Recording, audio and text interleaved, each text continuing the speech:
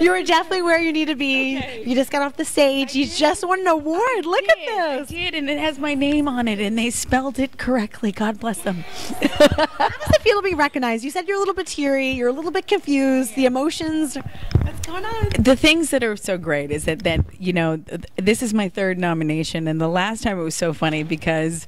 Emma Thompson was nomina- nominated, and I remember saying, like, laughing to myself and saying, "Stay in your lane, lady. You're Emma Thompson. Like, come on, give a little sister a break."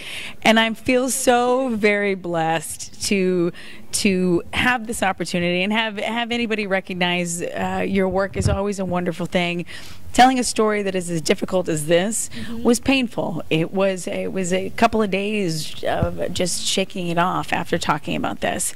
Gun violence in America is is enormous, and. Um, uh, it's a story that still just definitely needs to be told. And I feel grateful for everyone that had an opportunity to see the work and, and counted me in.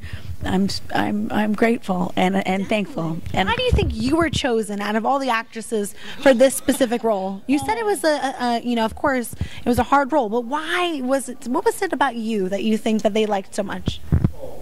You know, I, I don't know. I, I will say that that I uh, I try to leave it all out there every time, as I think every actress and every actor does every time. I, I don't. Not every time, not every actor.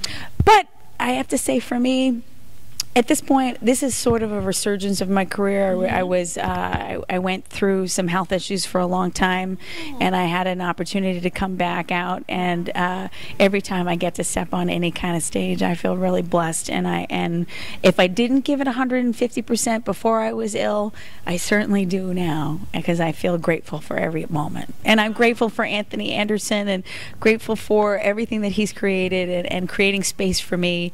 And I'm, I'm, and here you go. I love it. How are you going to celebrate? I, I'm, I'm. The fact that my heels are still on and I feel, I feel wonderful. I just want to make sure that I'm there for the person that I have to present for. Okay. Well, next. we, we wanted to say hello and just congratulate You you. have the most beautiful skin. We'll have to talk after. Thank you so Thank much. you so much. I'm, I'm off. I'm dumb smacked right now. Very happy for you, and and we want to know how much is away. Sorry, it's it's um it's definitely more than my boobs. Take that one.